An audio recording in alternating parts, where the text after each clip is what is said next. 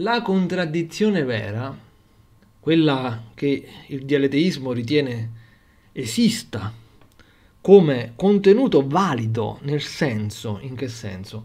Come un contenuto che scaturisce da un ragionamento valido e che per giunta esprime un contenuto vero, non negato dal, dalla logica o eh, addirittura possibile da un punto di vista ontologico. Il dialeteismo ritiene che possano esistere anche da un punto di vista ontologico delle contraddizioni.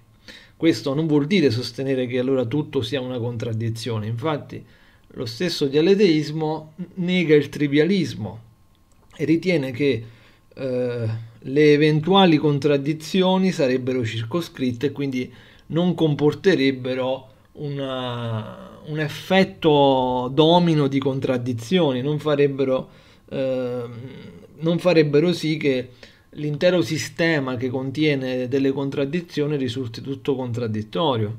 Tuttavia, tuttavia,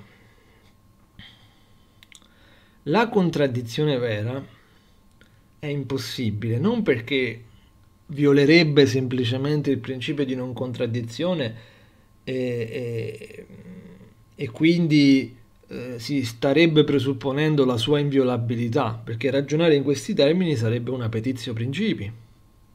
Significherebbe assumere surrettiziamente l'inviolabilità del principio di non contraddizione. Il motivo effettivo lo ha, lo ha spiegato Severino.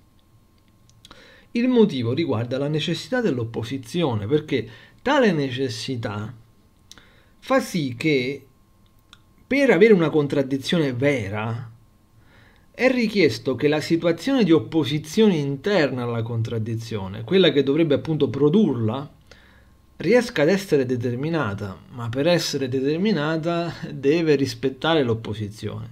Quindi i termini in opposizione che dovrebbero creare la contraddizione dovrebbero essere posti al suo interno, all'interno della posizione della contraddizione, all'interno del significato della contraddizione come determinati, cioè come identici a loro stessi e come distinti da tutto il resto e in particolare da ciò verso cui si trovano in opposizione, in un'opposizione che è esclusione.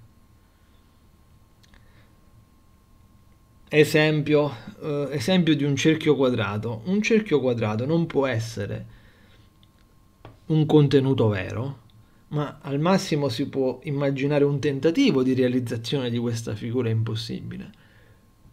Il vero motivo per cui questa figura è impossibile è perché se parliamo del cerchio e del quadrato dal punto di vista della bidimensionalità di queste figure, e quindi prendiamo la loro forma concreta, perché al di là delle definizioni, le definizioni del cerchio e del quadrato sono connesse anche alla figura che, che, che è rappresentata a livello grafico, visivo, simbolico. Per cui queste figure sono determinate. Ora, un cerchio non è un quadrato e un quadrato non è un cerchio. Una figura cerchio-quadrato sarebbe una figura che simultaneamente, nel medesimo rispetto, tutta cerchio e simultaneamente tutta quadrato, il che vuol dire non che riesca ad essere entrambi nel medesimo rispetto insieme, ma che non riesca ad essere nessuno di loro perché la figura sta innanzitutto prospettando di essere un cerchio e un quadrato, quindi è lei stessa, è l'esempio paradossale, contraddittorio di questa figura che sta già da subito assumendo dei significati come determinati e poi però non riesce a rispettare tale determinatezza, la quale se viene meno fa venir meno anche il tentativo di combinare in maniera impossibile nel medesimo rispetto queste due figure. Quindi non è che si debba presupporre che si riesca ad includere questi termini in opposizione in una situazione contraddittoria e che semplicemente il problema sia di, di creare una contraddizione che violerebbe il principio di non contraddizione. Il problema è che la contraddizione non riesce neanche a istituirsi in modo valido. L'unica cosa che si tenta di istituire è il contraddirsi, cioè si attua solo il tentativo, si cerca di attuare il tentativo di mettere in opposizione impossibile dei termini che si escluderebbero a vicenda e che si escluderebbero non perché se stessero insieme violerebbero il principio, ma perché stando insieme nessuno dei due sarebbe se stesso e quindi non potrebbe neanche istituirsi l'opposizione tra, tra elementi che non sono neanche loro stessi, perché l'opposizione scaturisce dal loro differire e il loro differire è relativo alla loro identità. L'identità e la differenza sono due aspetti di un'unica struttura una cosa è se stessa, un significato, un qualunque positivo, è se stesso ed è affermato, inteso come se stesso, anche perché differisce da tutti gli altri. E differisce da tutti gli altri perché è se stesso. Quindi il differire e l'identità sono due tratti co-originari, non è che uno venga prima o dopo dell'altro. Se mancasse uno, mancherebbe anche l'altro, e quindi non, è, non c'è una precedenza dell'uno rispetto all'altro, sono due tratti co-originari di un'unica relazione unitaria, di un'unica struttura unitaria. Ora, chiarito bene questo, la contraddizione vera sarebbe l'impossibile contenuto realizzato dal tentativo del contraddirsi, non il mero contraddirsi. Il mero contraddirsi non è un contenuto contraddittorio, Esattamente come il cercare di immaginare un cerchio quadrato non è un contenuto corrispondente a quello che si vorrebbe immaginare. Quando si cerca di immaginare un cerchio quadrato, si cerca solo di giustapporre queste due figure, ma non riesce il tentativo. Perché se per assurdo riuscisse, ma non può riuscire proprio intrinsecamente perché dovrebbero stare insieme nel medesimo momento, nel medesimo rispetto, due identità che stando insieme si escluderebbero a vicenda come identità e quindi senza essere identiche a loro stesse in quel momento non differirebbero neanche tra loro e quindi non ci sarebbe neanche il contraddirsi tra loro. Per quello è un tentativo impossibile e se anche per assurdo, lo ripeto, è impossibile, si realizzasse un cerchio quadrato si autoannullerebbe istantaneamente, non appena si fosse creato, nello stesso momento si autoannullerebbe, si autoannullerebbe perché appunto dovrebbe essere sia cerchio che quadrato e non riuscirebbe ad essere né l'uno né l'altro. E, e non riuscendo ad essere in quella situazione né l'uno né l'altro non potrebbe essere neanche la loro sintesi contraddittoria, in opposizione.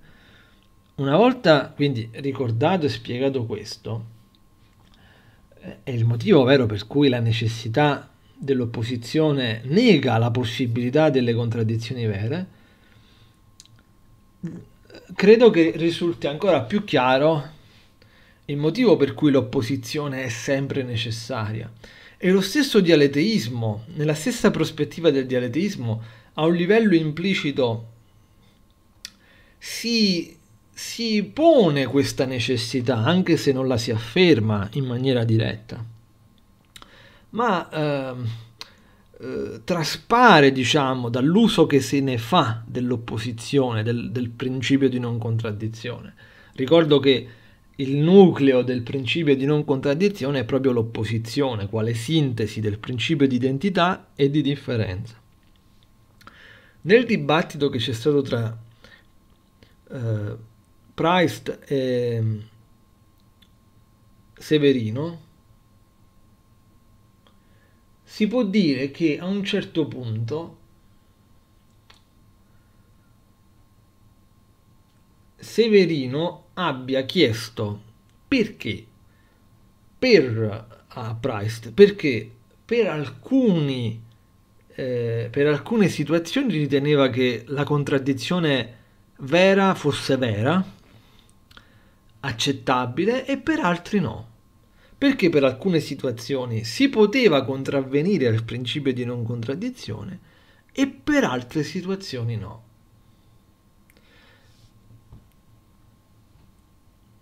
Io adesso dovrei andare a riascoltare questo dibattito perché l'ho visto tempo fa, ma da quel che ricordo non c'era stata poi una risposta proprio nel merito di questa domanda. Questa domanda è fondamentale perché fa capire, e, questa domanda induce a far capire che la necessità dell'opposizione non è una questione di scelta. Allora, immaginiamo una situazione assurda e impossibile, ovvero se tutto fosse contraddittorio, sarebbe possibile dire che tutto è contraddittorio? Sarebbe possibile la contraddizione? Ovviamente no, ma non perché se tutto fosse una contraddizione non ci sarebbe una situazione non contraddittoria che differirebbe dalla situazione contraddittoria e quindi la, la situazione contraddittoria essendo universale non permetterebbe di essere tale. No, non è solo per questo, ma perché se tutto fosse una contraddizione, vorrebbe dire che tutto sarebbe in una situazione di autonegazione, cioè mancherebbe qualunque forma di determinatezza e abbiamo spiegato, ho, ho riportato il nucleo di, questo, eh, di, di questa argomentazione fondamentale di Severino. Se mancasse la determinatezza tra gli elementi in opposizione non ci sarebbe neanche l'opposizione tra di loro e la contraddizione è proprio quello, è il tentativo di creare un contenuto contraddittorio che sia il frutto di un'opposizione tra diversi termini e significati reciproca esclusione. Se questi termini non fossero determinati non ci sarebbe neanche la loro opposizione e se questa opposizione intende mantenersi determinata nella situazione paradossale delle contraddizioni, non riuscirebbe a mantenersi e quindi non ci sarebbe neanche comunque il contenuto contraddittorio, cioè svanirebbe anche la stessa situazione dell'opposizione tra questi termini e se svenisse questa non ci sarebbe la condizione di possibilità per avere una contraddizione vera. Se si volesse mantenere fino in fondo l'opposizione determinata in una situazione ritenuta contraddittoria, la situazione contraddittoria non sfocerebbe comunque mai in una contraddizione vera, perché l'unico modo per mantenere la determinatezza dei significati dei termini in questione sarebbe di mantenerli in riferimenti diversi e non tutti nello stesso riferimento. Per esempio, per riprendere l'esempio della, della figura contraddittoria di prima, si potrebbe dire che una certa figura ipotetica è un cerchio da una certa prospettiva in un certo rispetto ed è un quadrato visto da un'altra prospettiva, secondo un altro riferimento, ma non può essere un cerchio quadrato simultaneamente nel medesimo rispetto dal punto di vista grafico bidimensionale, intendo. Poi se ci si inventa altre dimensioni cambia tutto perché allora diventano rispetti diversi rispetto a quelli in cui sono definiti e inclusi le figure di cui ho parlato. Quindi attenzione, l'esempio va preso per come è stato spiegato qui. Si, si, fa, riferi- si fa riferimento a figure bidimensionali che non possono essere la, la stessa unica figura nel medesimo rispetto se si inventassero rispetti diversi, non si creerebbe nessun contenuto contraddittorio perché non, la figura non sarebbe simultaneamente un cerchio e un quadrato nel medesimo rispetto, ma in due rispetti diversi. Ora, non ci sono altri modi, non ci sono altre vie e possibilità per avere una contraddizione. O la contraddizione tenta di rispettare l'opposizione, ma se tenta di rispettarla, l'opposizione non riesce a, a, crearla perché altrimenti autonegherebbe se stessa e la determinatezza stessa da cui dovrebbe scaturire il contenuto contraddittorio. Se invece non provasse a rispettarla, non avrebbe comunque addirittura in partenza la materia, la situazione, l'opposizione che dovrebbe produrla. E quindi, non essendoci altre possibilità, perché per definizione la contraddizione è proprio questo, è un contraddirsi tra elementi in opposizione che si escludono a vicenda e che pur tuttavia si ritiene riescano a stare insieme nel medesimo rispetto. Ed è qualcosa di impossibile. Non c'è altro modo. Se la contraddizione fosse intesa in altro modo, non sarebbe contraddizione. Se non rispettasse tutte queste condizioni non sarebbe comunque una contraddizione e, lo ripeto, requisito comunque fondamentale, anche solo per prospettare la possibilità di una contraddizione vera, è l'opposizione. e l'opposizione stessa richiede la determinatezza di ciò che la compone. C'è poco da fare. Uh, so che esistono altre logiche come quella paraconsistente che non coincide con il dialeteismo, però comunque prospetta qualcosa di simile, cioè che comunque ritiene che vi sono delle situazioni contraddittorie vere. Uh, e poi abbiamo, uh, perlomeno dal punto di vista logico intendo, poi vi è la logica Fazzi che invece dice, la logica Fazzi che vi sono tanti valori di verità intermedi, vi sono tante sfumature di verità. Ma anche se vi fossero infiniti valori di verità, non c'entra niente perché comunque ognuno di loro dovrebbe essere determinato rispetto agli altri, altrimenti non avremmo neanche un, una gamma di sfumature. Per avere una gamma di sfumature, ognuna di queste sfumature deve essere se stessa e non le altre. Quindi bisogna sempre includerle tutte in una struttura di opposizione che eh, le includa tutte. Per cui l'opposizione risulta sempre il terreno base di tutti i ragionamenti, di, di tutti i discorsi.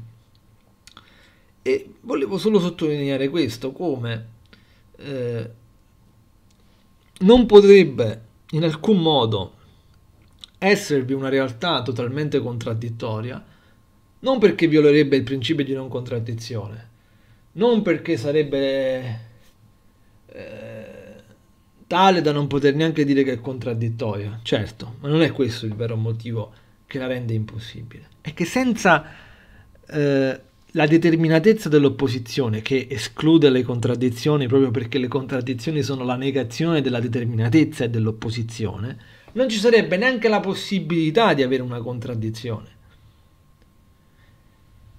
Per cui, per cui la realtà logica, ontologica, deve di base essere determinata e conforme all'opposizione. Solo questo permetterebbe l'eventuale emersione di qualche contraddizione, che quindi non potrebbe mai essere la base logica ontologica, ma sarebbe al massimo un surrogato, un, un, qualcosa di circoscritto, come pensa il dialeteismo. In realtà neanche questo può accadere, perché anche all'interno della situazione della contraddizione vera, è impossibile che allo stesso tempo si mantenga l'opposizione che dovrebbe reggere la contraddizione ed avere una contraddizione vera che è la totale negazione dell'opposizione e della determinatezza stessa dell'opposizione. Quindi è impossibile avere entrambe le cose, la determinatezza dell'opposizione, l'opposizione e poi un contenuto contraddittorio che è la loro totale negazione. È totalmente impossibile. E allora questo tipo di riflessione di rilievo fa capire come l'opposizione non sia una questione di scelta. Perché anche volendola negare, anche volendo immaginare che vi fossero solo contraddizioni, bisognerebbe prospettare innanzitutto l'opposizione, che nega quindi che tutto sia una contraddizione, quindi nega il, il trivialismo. Ma non nega solo il trivialismo, nega anche il dialeteismo perché anche la situazione circoscritta dal dialeteismo e dalle logiche paraconsistenti, la situazione di presunta contraddizione vera, non riesce ad essere ciò che essa vorrebbe prospettare, perché essa vorrebbe essere la totale negazione dell'opposizione, ma non può farne a meno per prospettarsi. Se, se non vi fosse l'opposizione e la sua determinazione, non ci sarebbe neanche la possibilità di avere una contraddizione. E questo è il problema. Tutto qui. L'opposizione è necessaria per questo, perché non è una questione di scelta, deve esserci, anche per prospettare la sua negazione, si deve assumere. E quindi la, la rende impossibile il suo stesso eh, essere negata risulta impossibile perché dovrebbe essere sempre presente questa determinatezza.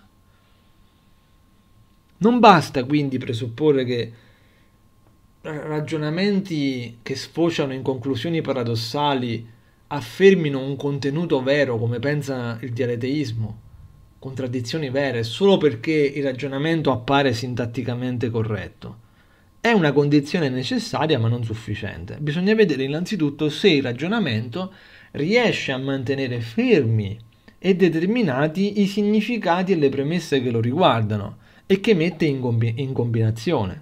Perché se non riesce a mantenere fermi questi significati, è come se non li stesse più usando, è come se stesse usando tutt'altro a un certo punto. O qualcosa di indeterminato che non è più quello da cui partiva, o qualcosa che da subito è posto come indeterminato pur essendo proposto esplicitamente come determinato, diciamo spacciato per determinato. È, come se eh, eh, sapessimo che dobbiamo, dobbiamo svolgere una equazione, sapessimo che il risultato è un certo numero, tipo il numero 10, un'espressione algebrica, sappiamo che il risultato è 10, eh, e però no, non, non, sappiamo eh, tutti diciamo, i termini che compongono il primo membro di questa espressione o di questa equazione, quello che è. E allora eh,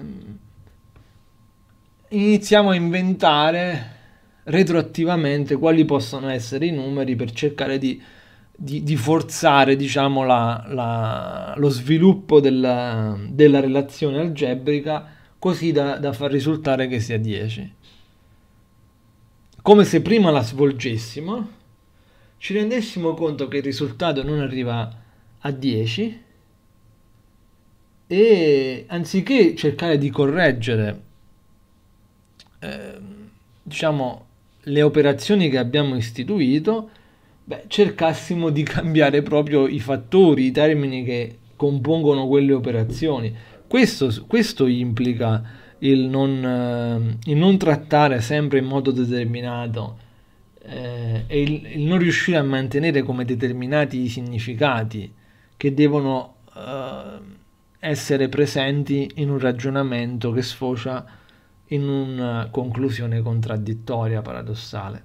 E la conclusione paradossale, in qualsiasi caso, arriva sempre a negare una qualche premessa in qualche modo, se non a un livello esplicito, certamente una premessa a livello implicito.